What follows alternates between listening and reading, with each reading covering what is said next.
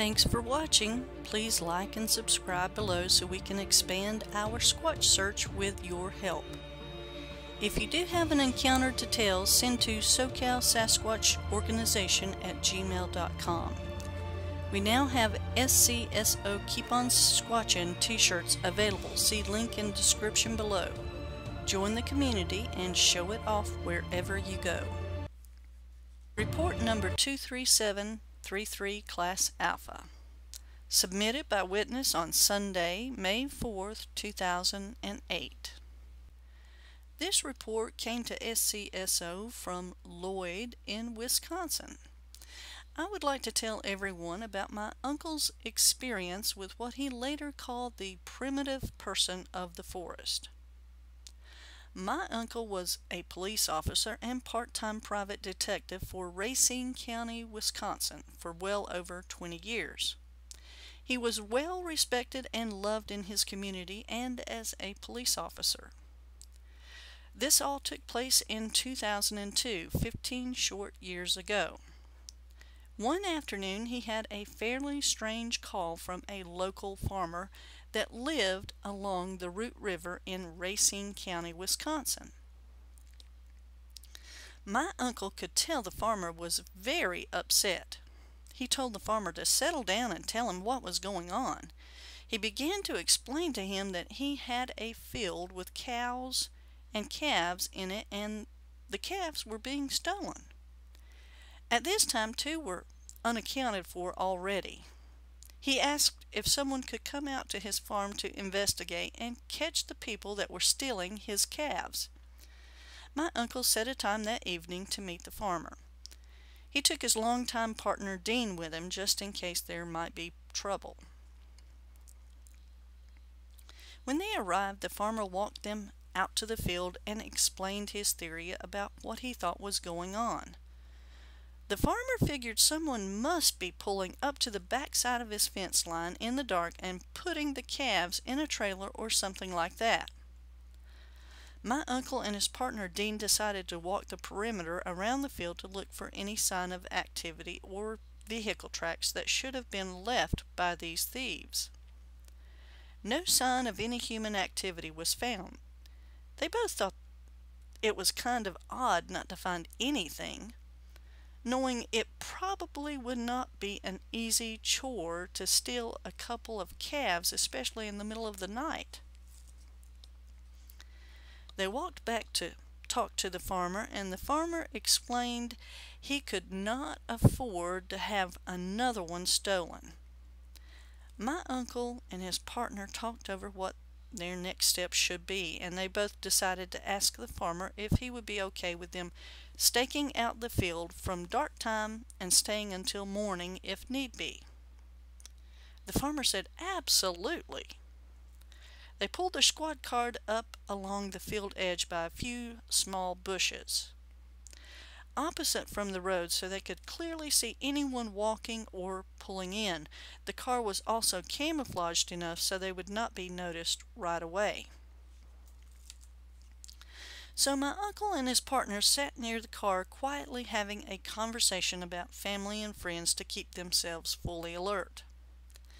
Approximately two and a half hours after dark, they were startled by a loud thump that came from about halfway across the field. But he said closer to the field edge that ran close to the woods and the Root River. My uncle whispered to his partner and said, Someone's out there. We will get 'em. Grab the spotlight quick. By now the cows and calves were in a panic and running to the opposite side of the field toward the farmhouse. My uncle grabbed the spotlight from his partner and hit the spot immediately. Now what they saw shocked both of them. Like my uncle said, he's not shocked by much because of his training and his experiences as a police officer. But this was different. What my uncle told me they were looking at clearly in the spot was a creature around eight feet tall, four feet wide at the shoulder, muscles that were so large that no man could even carry them, dark hair from head to toe, and carrying a calf under its right arm. They both yelled stop, and when they did, it turned its head and upper body. Looking into the spot, it covered its eyes with its left arm for a second, turned, and started walking toward the fence line. Now, when it came to the fence, that was about four and a half to five feet high, my uncle said. It just stepped over it with ease. It didn't have to jump at all, still carrying the calf the whole time. They watched it walk into the darkness of the woods and a little ways down the hill until it disappeared somewhere along the river bottom. My uncle and partner looked at each other and said, What the F did we just witness? My uncle said, Well, it wasn't a bear or a human, that was a damn Sasquatch. There's no other explanation, he said. At that point, they were both shaking and in a state of shock. When they finally calmed down enough to drive, the, they drove out of the field onto the farmer's driveway and sat there not saying a thing. Dean finally spoke and, and asked my uncle, What the hell are we going to write on the report? They decided to write up the report saying that an unidentified animal was spotted and was the cause of the farmer's missing calves. Case solved. Now they did return to the farmer's home after working hours and told the farmer what actually took place. He was shocked but knew both my uncle and Dean and believed them 100%. They also told him if any more calves go missing to give them a call and no one else but them. The farmer did not call after that night. Maybe the Sasquatch moved on and after being caught by them in the field, no one really knows. After that life changing experience, my uncle and his partner were true believers in what he called the primitive people of the forest. He told my family this story often and right up to tell them he passed away four years ago. My family and I all know to that these creatures do exist, knowing that my uncle had integrity and honesty. My uncle was lucky enough to experience another primitive person a few, few years after his first encounter while out hunting in the mountains of Wisconsin. But that is an experience that I can tell everyone about at another time. Thank you and God bless. Report number 58768, Class Alpha submitted by witness on Thursday, December 28, 2017. Late night sightings by resident near two homes in the Macedonia area. Year 2017. Season summer. Date summer. State Arkansas. County Conway County. Location details right beside my house. I would say it had to have been running from across the road. It was just mouth dropping fast with no sound as it went by me, and by the time I got light to look down a clear field area, it was gone. Nearest town, Hattieville. Nearest road, 213 Old Hickory Road. Observed. My name is T.W. and I live in Arkansas. Before this happened, I have never had anything ever happen to me. This happened in September 2017 at about 11 p.m. I am a night owl in the summer because it's too hot during the day to do a lot. I had just came from inside my house and walked down the steps. My truck was parked to my right and I was going to the storage room. As I turned a little to go around the front of my truck, something caught my side vision that made me turn my head. As I was turning my head, this big human like figure was sprinting so fast it was like two seconds and it was gone. It had a dark undercoat and light colored on top hair. I have never in my life seen anything run so fast, and what got me was it did not make a sound running past me. It was about 25 to 30 feet away in open area. If I had not caught the glimpse of it, I would have never even known he went by me.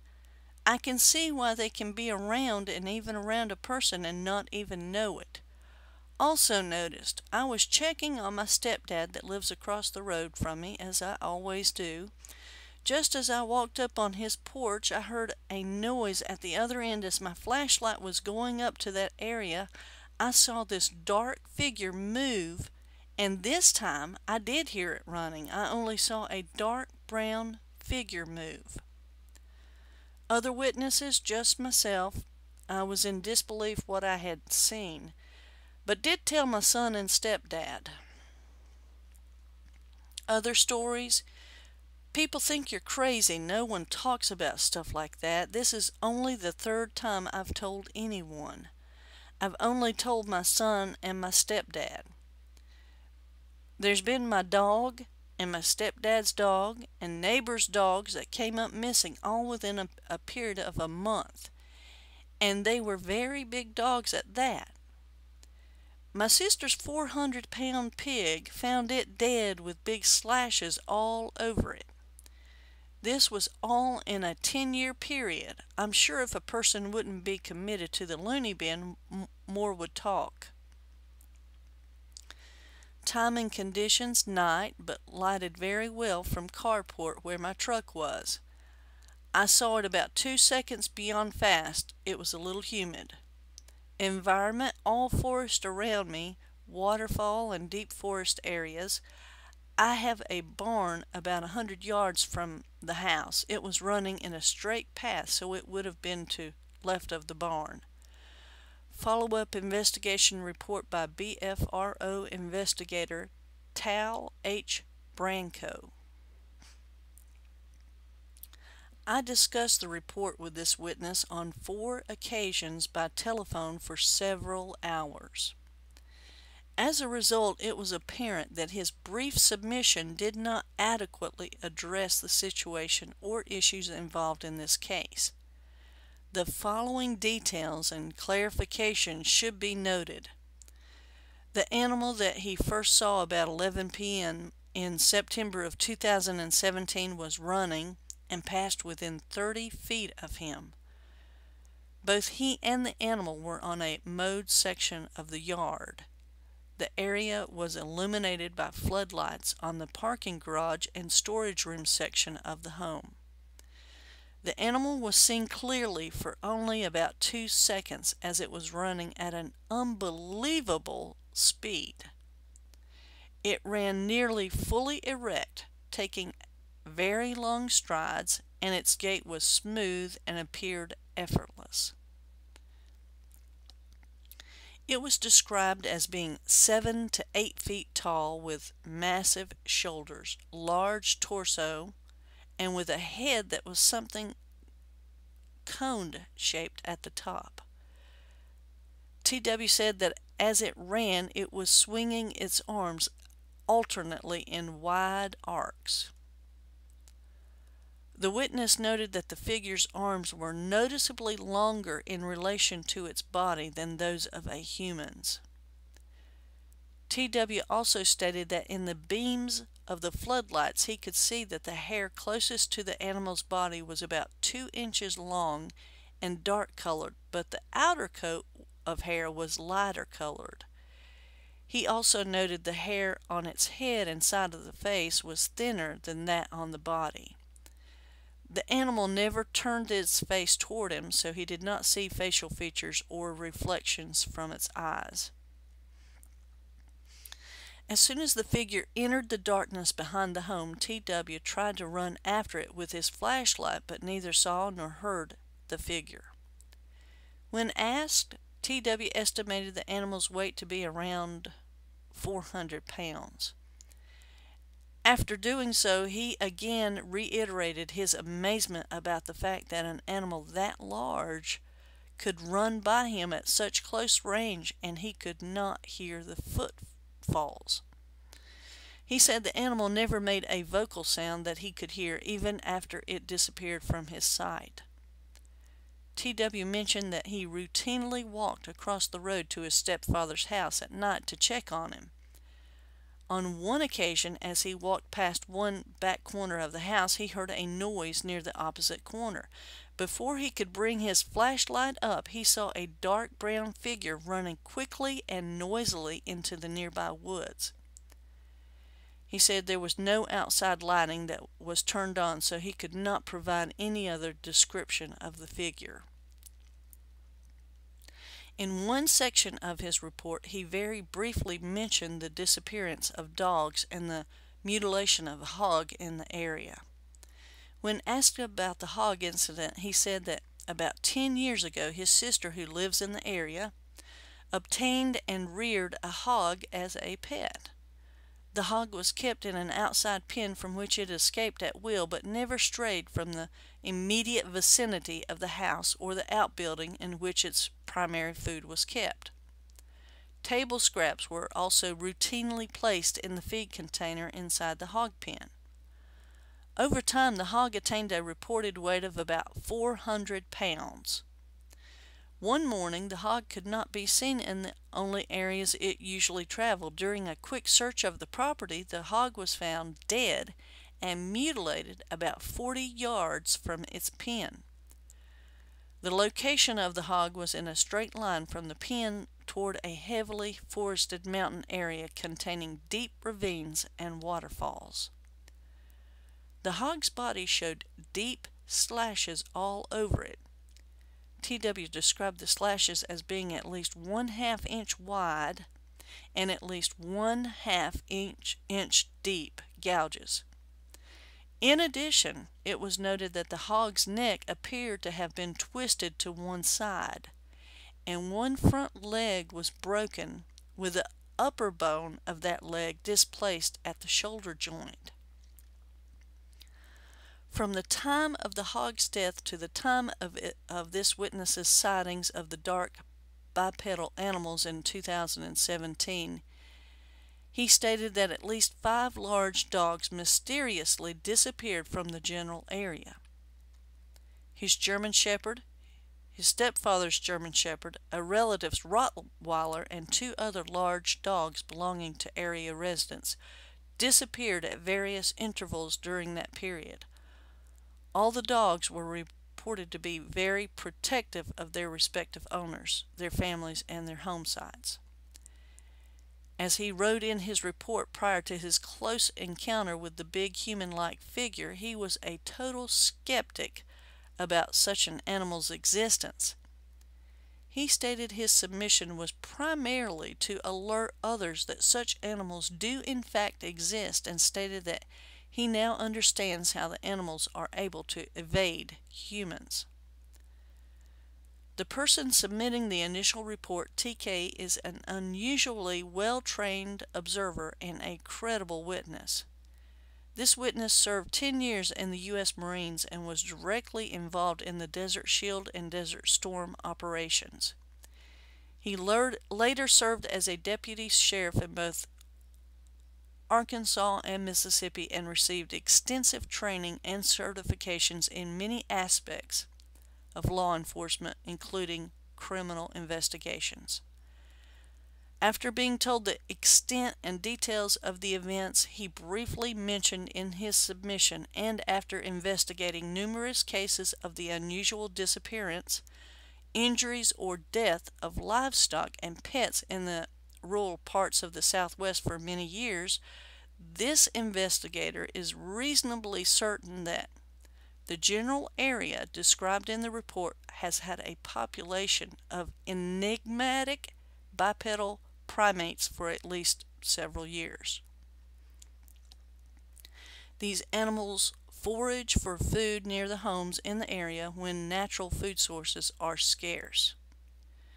If dogs of any size challenge them during these foraging forays and do not retreat when approached, the dogs may be injured or killed. When dogs are killed by the enigmatic primates, the bodies may be carried away and thrown in inaccessible locations.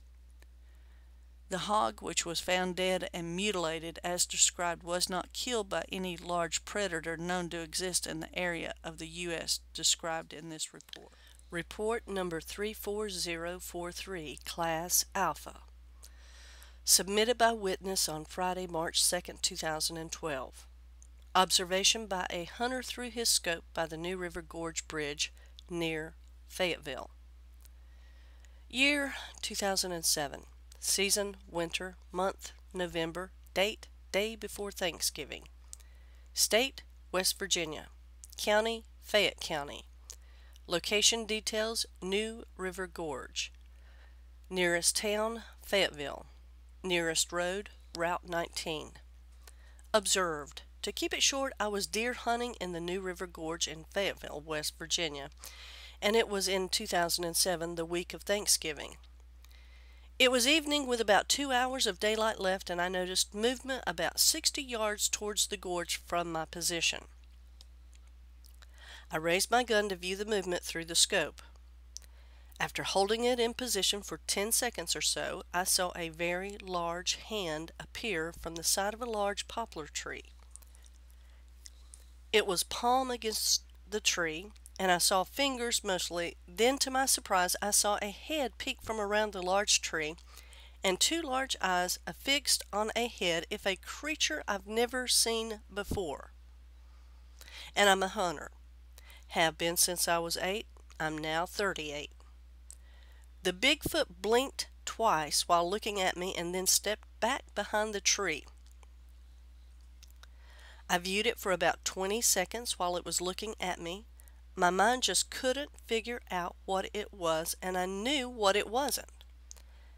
I had no desire to shoot it, and very well could have, but my mind and body almost seemed to be in a state of shock while viewing it.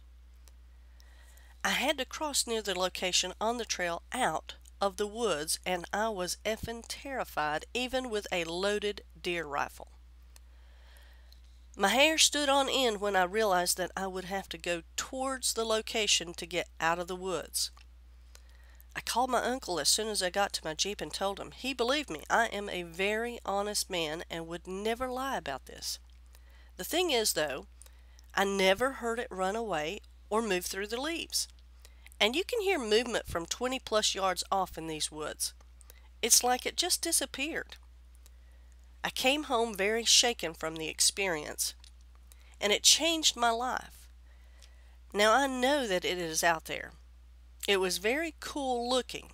About seven feet tall, it had very dark, large pupils.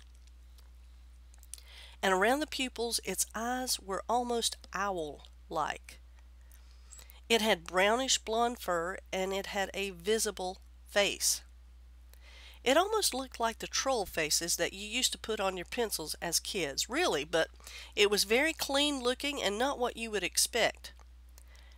Its fingers were long and thick with no fur, and it had dark fingernails. I had my scope on 9 power, and it was equivalent to being around 30 feet from me visually. It was real, and I would take a polygraph and swear on my life. Also noticed, no. Other witnesses, none I'm aware of. Other stories, I have heard of sightings in the gorge, but not recent.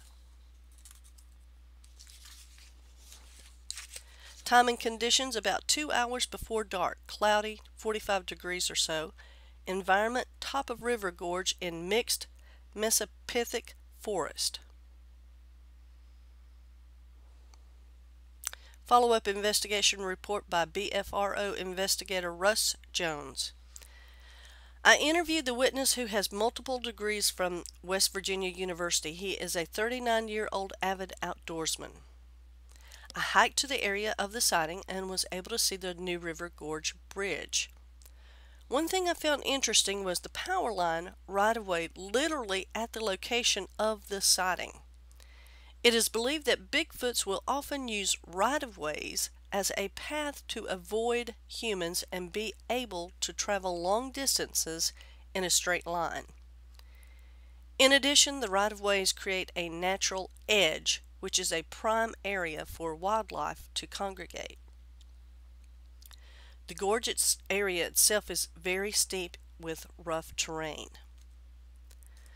Report number 51180, Class Bravo. submitted by witness on Saturday, February 13th, 2016. Man recalls strange occurrences as a youngster in Weatherford. Year 1976. Season winter, month November, date after Thanksgiving, state Texas, county Parker County. Location details at the time Mr. J owned the property. It was at the end of the street across a cattle guard. It was a creek bottom and woods, very secluded back then. Nearest town, right on the outskirts of Weatherford. It is inside the city limits now. Nearest road, Allen Street. Observed. Seen big, dark something twice. I grew up on the east side of Weatherford, born and raised on Town Creek, which stretched from Sunshine Lake through Weatherford all the way to Annetta South. During the winter, I trapped and hunted fur-bearing animals. One night on a weekend, I was walking the creek hunting coons and came upon a part of the creek where we all swam during the summers. And remember a horrible foul odor that would take your breath away. I was shining my light in the trees looking for eyes and heard what sounded like someone fall in the water. But by the time we got to where the noise came from, there was nothing. Only thing was the water was disturbed and kind of murky. I was 12 years old at that time and didn't think too much about it at that time. Now I think back to that time and one other incident and I know what it was. Also noticed a few days after that incident, the property owner stopped my buddy and I and asked why we had torn up the flood fence that crossed the creek at his property line. We told him that we didn't do any such thing and that the water was cold and over waist deep at that location. He still blamed us. We told him that the fence was not mangled and torn when we were there. That really made us wonder because whatever the being was, it had come back on the same path and had tore up the fence in just a couple of days. Other witnesses? Yes. My best bud that I, I had went to school with from the first grade till we graduated high school. He was a shining light as I was. Other stories. Five years before, on the same property, my brother a neighbor boy, and I all watched a dark object walk from the creek bottom across an open neck of field, step over a five strand barbed wire fence, walk over railroad tracks, and disappear on the other side of the railroad tracks. We were several hundred yards from it, and I remember all three of us shooting BB guns at it. I do remember that it did not even turn to look at us. We got home, told my parents, and got in trouble. They said we were shooting at a hobo. That wasn't a hobo, but my dad said there weren't any monsters. In 1972. Time and conditions. It was before 10 p.m. and very dark. It was pretty cold because I remember wearing a coat, rubber boots, and two pairs of socks environment. It was creek bottoms and some woods with Mr. J having a couple of hay fields. It was country from the VY Dock Bridge all the way to Annetta South. Follow-up investigation report by BFRO investigator Gary Christensen. I spoke with the witness by telephone. He said that he had two or three encounters when he was a boy. The first occurred when he was six or seven in 1971 or 72. He and two other boys saw a large, hairy, biped step over a five-stranded barbed wire fence, walk over railroad tracks, and disappear on the other side as he and the other boys shot at it with BB guns. He said that it was reddish brown in color and did not look back at them. Five years later, while coon hunting at night with a friend, the boys heard something very large fall in the creek. And two steps, whatever it was, made it across the creek another time. While camped on the creek, the witness and a friend experienced a rotten mud smell and heard large rocks being thrown in the creek. They also heard growls and a grunt that frightened them and they left. Other incidents included a tree that they found that had been uprooted and planted upside down. A rancher friend reported calves missing and a cow killed and its intestines pulled out.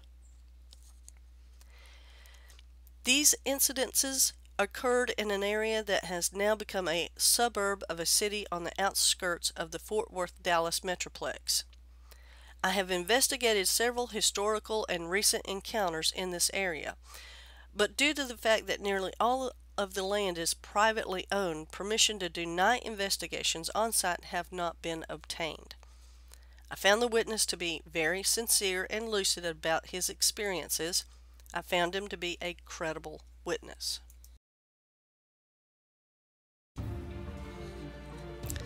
Thanks for watching. Please like and subscribe below so we can expand our Squatch search with your help.